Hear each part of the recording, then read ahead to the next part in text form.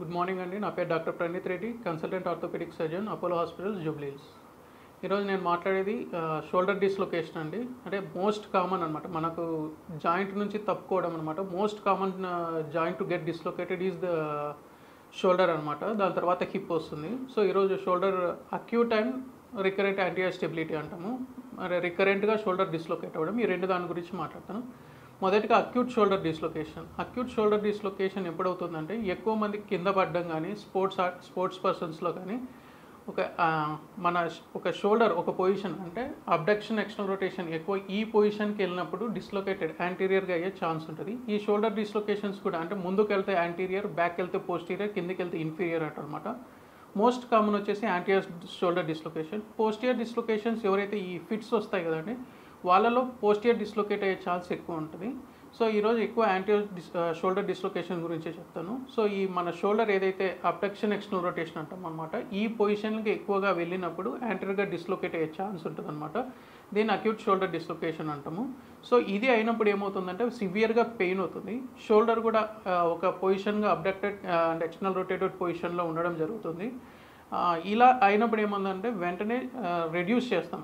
కొందరికి ఏంటంటే వితౌట్ అనస్థీషియానే మెనోవర్ చేస్తే రెడ్యూస్ అయ్యే ఛాన్స్ ఉంటుంది. అలా కాని పక్షంలో ఏదైనా బోని డిఫెక్ట్ ఉండి ఇలా ఉన్నప్పుడు ఏమవుతుందంటే ఒకవేళ రెడ్యూస్ అవ్వకపోతే మాత్రం అనస్థిషియా ఇచ్చి రెడ్యూస్ చేయాల్సి వస్తుంది. కొందరికి వెరీ రేర్గా ఓపెన్ రిడక్షన్ చేయాల్సి వస్తుంది. చాలా వరకు క్లోజ్ రిడక్షన్ అండర్ అనస్థిషియానే అయిపోతుంది.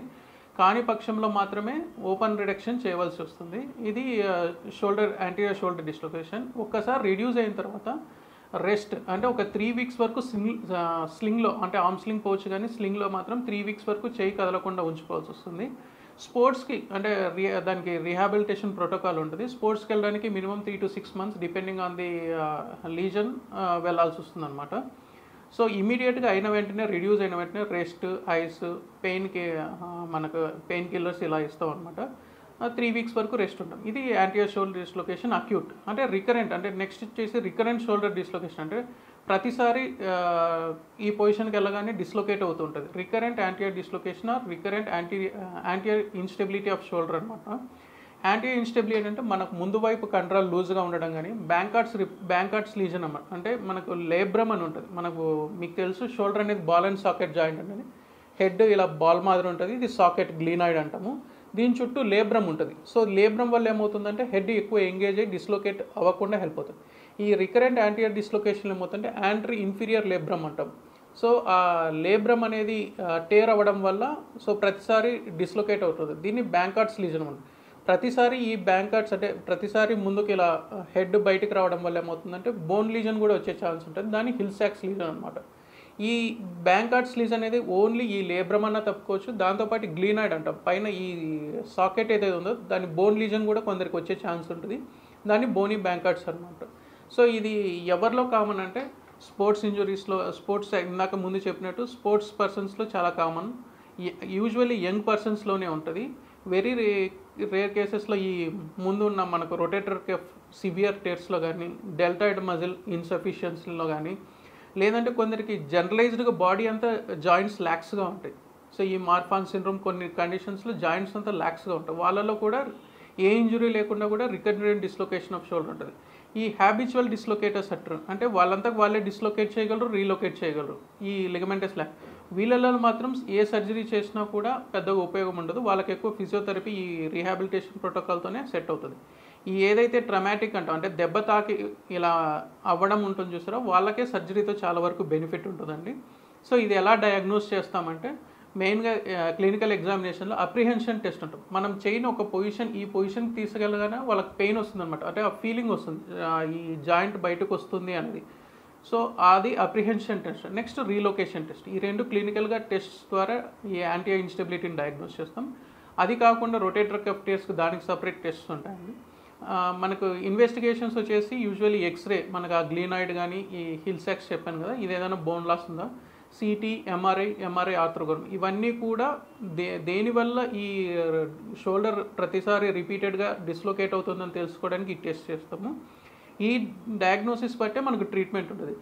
ఆ ట్రీట్మెంట్ గురించి వచ్చేస్తే ట్రీట్మెంట్ మన డయాగ్నోసిస్ బట్టి ఉంటుందండి. ట్రీట్మెంట్ వచ్చేసి చెప్పాను కదండి సాఫ్ట్ టిష్యూన బోనియన్ అని బట్టి ఉంటుంది. సాఫ్ట్ టిష్యూ ప్రొసీజర్ వచ్చేసి మనకు only anterior inferior labrum labral tear ఉన్నప్పుడు దాన్నే బ్యాంకార్ట్స్ లీజన్ అంటారు. ఆర్థ్రోస్కోపీ కీహోల్ సర్జరీ ద్వారా లేబరల్ రిపేర్ బ్యాంకార్ట్స్ రిపేర్ చేసుకుంటే సరిపోద్ది.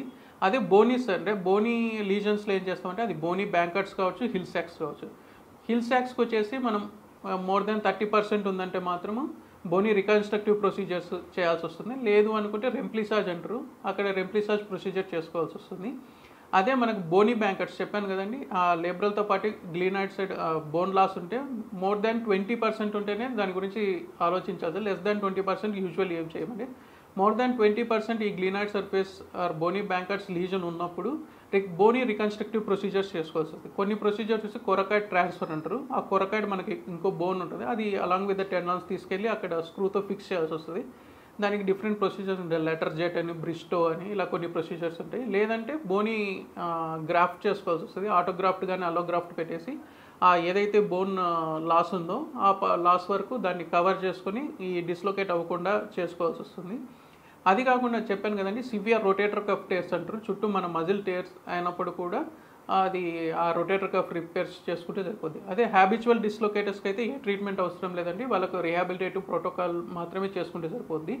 ఇది మోస్ట్ ప్రొసీజర్స్ ఆర్థ్రోస్కోపీ ద్వారానే చేస్తాం. అంటే కీహోల్ సర్జరీ చేస్తాం. కొన్ని మాత్రం ఈ లెటర్ జెట్ ఇవన్నీ మాత్రం ఆర్థ్రోస్కోపీ ద్వారా హై లెర్నింగ్ కావాలి కాబట్టి యూజువల్లీ ఈ లెటర్ జెట్ ఇవి మాత్రమే ఓపెన్ ప్రొసీజర్స్ చేస్తాము.